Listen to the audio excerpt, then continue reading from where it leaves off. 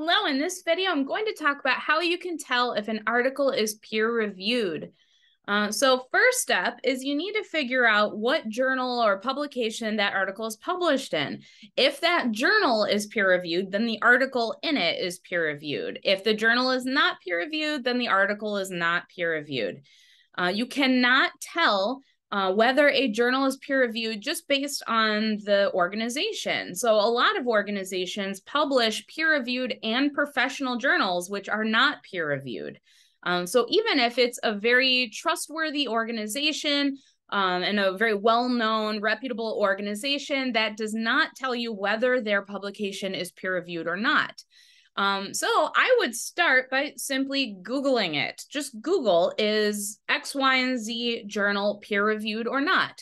Um, if a journal is peer reviewed, it will clearly state that it is on its website. And when you Google it, it will clearly give you an answer saying that it's peer reviewed. It will point you to the page where uh, the journal brags about how it's peer reviewed if a journal or a publication is not peer reviewed, it's not going to say that anywhere. It's not going to say that it's not peer reviewed. It's just simply going to be missing. So if you look at the website for that publication or you Google it and you can't find any answer saying whether it's peer reviewed or not, then the answer is that it is not.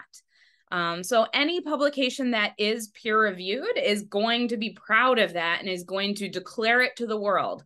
So if everywhere you look, you cannot find any answer about whether it's peer reviewed or not, then the answer is no. All right. Thank you so much for watching this video, and I hope you have a great day.